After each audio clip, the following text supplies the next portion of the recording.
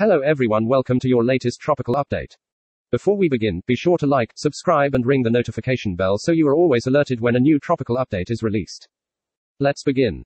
Hi everyone, continuing on from yesterday's update, we still have this area to watch in the Indian Ocean which requires watching. As you see here, it is shown to intensify into a large cyclone quite near Mauritius, Rodrigues, and possibly Reunion.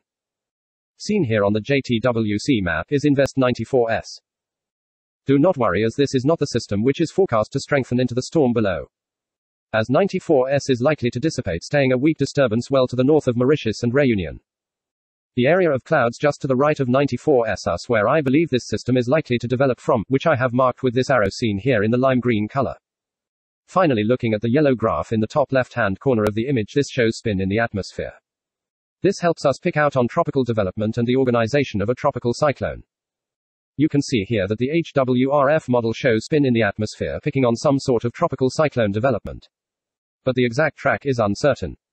In the coming days, we will get a lot more information on this system, so the confidence will increase from here.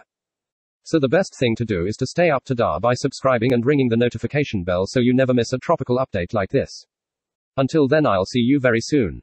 Stay safe, everyone.